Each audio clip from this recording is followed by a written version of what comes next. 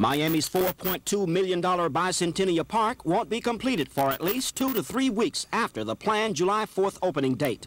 The reasons for the completion delay are one, the disappearance of the park's architect Julio Pestonite, and the late arrival of fountain and water sprinkler systems equipment.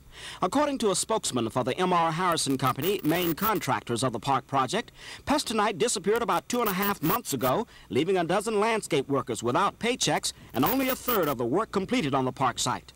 In the meantime, the Internal Revenue Service has placed seizure tags on two of three of Pestonite Company trucks still on the park property east of Biscayne Boulevard and south of the MacArthur Causeway. The Harrison firm has since taken over the landscaping project and retained most of Pestonite's former employees.